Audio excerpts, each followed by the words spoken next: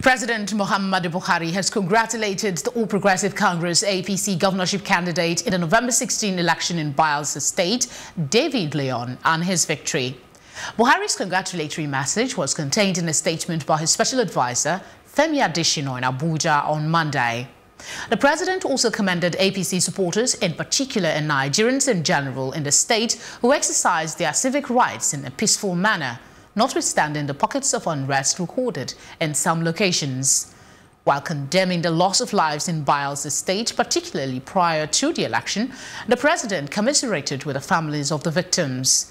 He noted that officials of the Independent National Electoral Commission INEC and security agencies did their best within the ambit of the law to ensure free, fair and credible elections.